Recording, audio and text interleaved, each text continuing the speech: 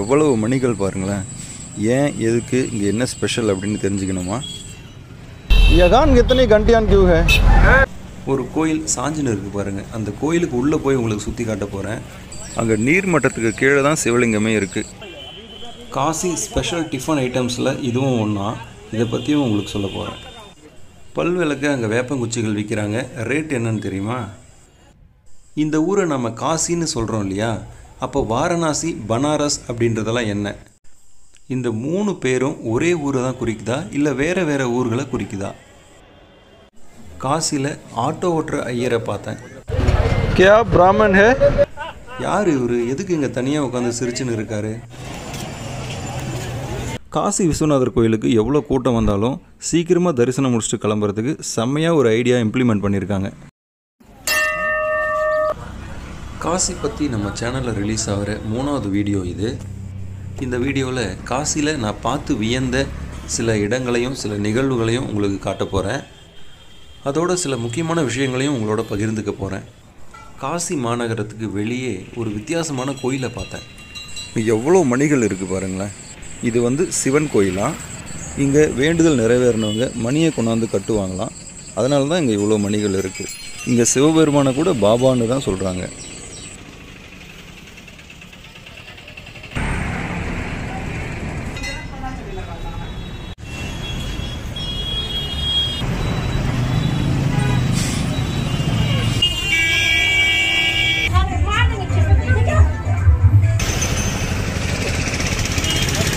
ये कौन सा मंदिर है ये तारकेश्वर नाथ बाबा हैं हम भी पहली बार आए हैं यहाँ तो हम मन्नत किए थे भाई हमारा मन्नत पूरा हुआ तो हम मन्नत में आए हैं चढ़ाने के लिए यहां कितनी घंटियां क्यों हैं सब जिनका जिनका मन्नत पूरा हो इसलिए घंटिया अपना बांधा हुआ है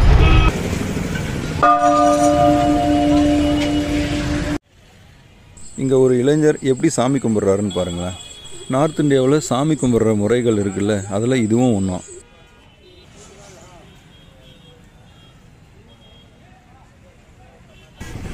காசி மாநகரத்தை நெருங்கிட்டோம். கங்கை நதிக்கு மேலே கட்டப்பட்டிருக்கிற பாலத்து மேலே தான் இப்போ போயின்னு இருக்கோம். தூரத்தில் தெரியுது பாருங்கள் அதுதான் காசி மெயின் ஏரியா இங்கே வழியோரம் நிறைய இலைங்களை அறுத்துன்னு வந்து விற்றுன்னு இருந்தாங்க நிறைய பேர்.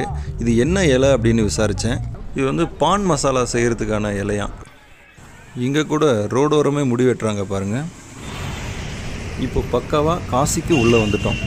காசி ரயில்வே ஸ்டேஷன் பாருங்கள் இங்கே காசின்னு மட்டும் ரயில்வே ஸ்டேஷன் இல்லை வாரணாசி ரயில்வே ஸ்டேஷன் இருக்குது பனாரஸ் ரயில்வே ஸ்டேஷன் இருக்குது இந்த மூணு ரயில்வே ஸ்டேஷன்ஸும் காசியில் வேறு வேறு இடங்களில் இருக்குது வாரணாசி அப்படின்றதும் பனாரஸ் அப்படின்றதும் காசியோட இன்னொரு பெயர்கள். இருந்தாலும் இந்த நகரத்துக்கு காஷி அப்படின்றது தான் ரொம்பவே பழமையான பெயர். காசி அப்படின்றதுக்கு ஒளி நிறைந்த நகரம் அல்லது வெளிச்சமான நகரம் அப்படின்னு அர்த்தமா? இந்த காசி நகரத்தை வந்து சிவபெருமானே உருவாக்கினதாக சொல்லப்படுது. மகாபாரதத்தில் கூட இதை காஷி அப்படின்னு தான் குறிப்பிட்டிருக்காங்க. அடுத்ததாக இந்த ஊருக்கு வாரணாசி அப்படின்ற பேரும் உண்டாயிருக்கு. இங்கே வந்து வருணா அஸ்ஸி அப்படின்னு ரெண்டு நதிகள் சங்கமிக்கிறதால வாரணாசி அப்படின்ற பேர் உண்டாச்சான் இந்த காசிக்கு பனாரஸ் அப்படின்ற பேர் ஒரு ஆயிரம் வருஷத்துக்கு முன்ன பின்ன உருவாயிருக்கலாம் அப்படின்னு சொல்கிறாங்க பனாரஸ் பட்டுன்னு சொல்லுவாங்க இல்லையா ரொம்ப ஃபேமஸான பட்டு சேலை. அது இங்கே உற்பத்தி பண்ணுறது தான் வாரணாசி ரயில்வே ஸ்டேஷனில் இருக்கிற தண்ணி டேங்க் இது. இந்த தண்ணி டேங்க்கில் கூட ஆன்மீகம் சார்ந்த அந்த கலைநயம் நம்மளை வசீகரிக்குது பாருங்கள் இப்போ காசி ரயில்வே ஸ்டேஷன்லேருந்து கங்கையில் படகு மூலமாக போய் இந்த காசி மாநகரத்தோட முக்கியமான பகுதிகளை பார்வையிடலாம். இந்த படகுகளில் விறகுகள் ஏற்றின்னு இருக்காங்க பாருங்கள் இந்த விறகுலாம் எதுக்குன்னா இங்கே எடுத்துகிட்டு வர உடல்களை எரிக்கிறதுக்காக.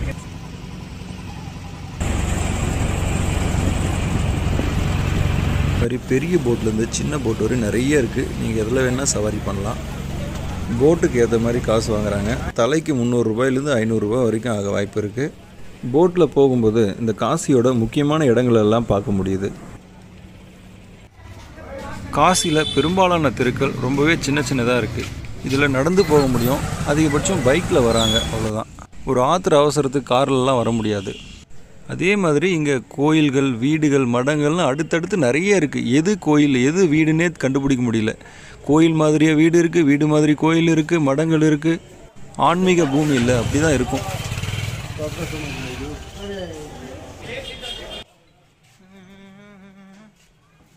இங்கே பாருங்கள் இது கடை வீடுன்னு தான் நினச்சிங்க.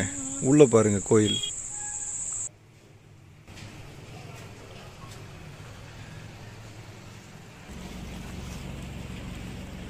இந்த கோயில் பாருங்கள் சாஞ்சின்னு இருக்குது இந்த கோயிலுக்கு உள்ளே போய் பூசாரிக்கிட்ட பேசலாம் வாங்க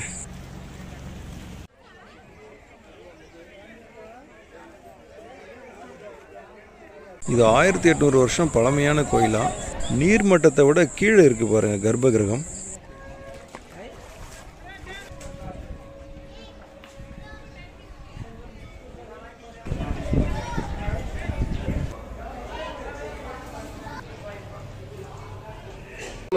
ஏன் சாமி இந்த கோயில் சாஞ்சிருக்கு? So no one biggest reason but Ganga mother is coming you can see see, first you see here. Ganga mother is coming here, and uh, maybe when one come, water came one inch upside, then after Ganga water, Ganga she can go inside in temple. There is all, always uh, every year, every year coming and going. Come and go, come and go every every year. Uh, Ganga is mo- mo- mother is coming maybe 60 feet water. இந்த காசி மக்கள் மட்டும் இல்லை பொதுவாகவே வட இந்திய மக்கள் ரொம்ப நல்லவங்களாக இருக்காங்க. நாம் அந்த ஊருக்கு புதுசுனாலும் நம்மளை கௌரவமாக நடத்துகிறாங்க எந்த உதவி கேட்டாலும் செய்கிறாங்க கங்கை கரையில் சாமியார் மாதிரி ஒருத்தர் உட்காந்து தனியாக சிரிச்சுன்னு இருந்தார். என்ன ஏதுன்னு போய் விசாரிக்கிறப்போ அது வந்து ஷூட்டிங்காக ஏதோ தெலுங்கு டாக்குமெண்ட்ரி ஃபிலிம் அப்படின்னு சொன்னாங்க.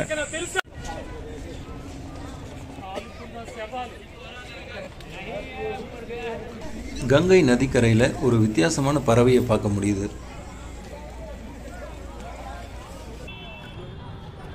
காசில் இருக்கிற முக்கிய சாலைகள் இவை.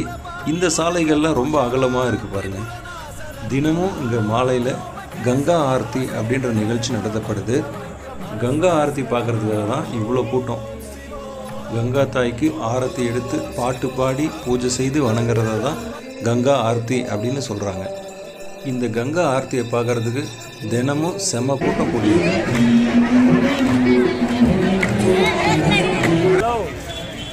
ஹாய் இங்கே உருண்டை உருண்டையாக நிறைய வச்சுருக்காங்க இல்லையா? நிறைய பேர் இதை தான் காலை டிஃபனாக சாப்பிட்றாங்க இந்த காசியில். கோதுமை மாவையும் மூக்குக்கடலை மாவையும் மிக்ஸ் பண்ணி இந்த உருண்டை செய்கிறாங்களாம் அப்புறம் கருப்பு உப்பு போட்டு தயாரிக்கப்படுற புதினா ஜூஸையும் அங்கங்கே விற்றுன்னு இருக்காங்க. கருப்பு உப்பு அப்படின்றது இமயமலை பாறைகள்லேருந்து எடுக்கப்படுற உப்பு. இங்கே வந்து பல் விளக்குறதுக்காக வேப்பங்குச்சிங்களை கூட விற்றுன்னு இருக்காங்க. இதில் பெரிய பெரிய குச்சியாக இருக்குல்ல இந்த பெரிய குச்சிங்க மூணு குச்சி பத்து ரூபாயாம் சின்ன சின்ன குச்சியாக இருக்குல்ல அதில் ஒரு கட்டு இருபது ரூபாயாம் பிரதமர் நரேந்திர மோடியோட முயற்சியால் புதுப்பிக்கப்பட்டிருக்கிற காசி விஸ்வநாதர் கோயிலோட அழகிய தோற்றம் இது. விஸ்வநாதரை தரிசனம் பண்ணுறதுக்கு எவ்வளோ கூட்டம் வந்தாலும் சீக்கிரமாக தரிசனம் முடிச்சுட்டு போகிற மாதிரி ஒரு நல்ல ஐடியாவை இங்கே இம்ப்ளிமெண்ட் பண்ணியிருக்காங்க. அது என்னென்னா இந்த விஸ்வநாதரை நாலா பக்கம் இருந்தும் தரிசிக்க முடியும். மற்ற கோயில்கள் மாதிரி மூலஸ்தானத்தை தரிசிக்கிறதுக்கு ஒரே ஒரு லைனில் மட்டும் பக்தர்கள் அனுமதிக்கப்படுறதில்ல. மூலஸ்தானத்தை சுற்றி நாலு லைன் இருக்குது நாலு லைன் இருக்கிறதால பக்தர்கள் சீக்கிரமாகவே தரிசனம் செய்ய முடியுது.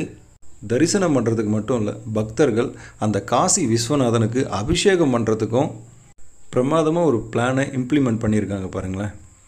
இந்த காசி தொகுதியோட எம்பியான பிரதமர் நரேந்திர மோடி இந்த கோயிலுக்கு அடிக்கடி வந்து காசி விஸ்வநாதருக்கு பயபக்தியோடு பூஜை செஞ்சு வணங்குறாரு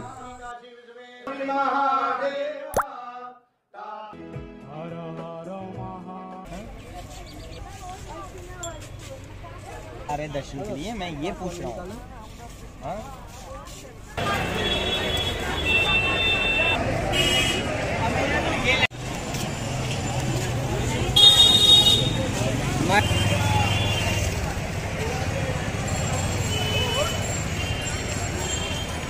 இங்கே ஆட்டோ ஓட்டுற பிராமணரை பார்த்தேன். இங்கே பிராமணர்கள் வெறும் ஆட்டோ மட்டும் ஓட்டலையாம். மூட்டை தூக்குற வேலை செய்கிறாங்களாம் ரிக்ஷாவை ஓட்டுறாங்களாம். இந்த பில்டிங் வேலையில் கல் தூக்கி கொடுப்பாங்க இல்லையா? அந்த மாதிரி வேலைகள்லாம் கூட செய்கிறாங்களாம் வட இந்தியாவில் பிராமணர்கள் விவசாயிகளாக கூட இருக்காங்களாம். நிலத்தில் வேலை இல்லைன்னா டவுனுக்கு வந்து இந்த மாதிரி வேலையெல்லாம் செஞ்சு சம்பாதிக்கிறாங்களாம். ஆப்கா நாம் கியா ஹே ஹேம்சந்த் மிஸ்ரா கியா பிராமன் ஹே ஜி ஹான் பிராமன் ஹே आप किस पर काम कर रहे हैं? हम ऑटो चालक हैं। पूजा पाठ भी थोड़ा बहुत कर लेते हैं।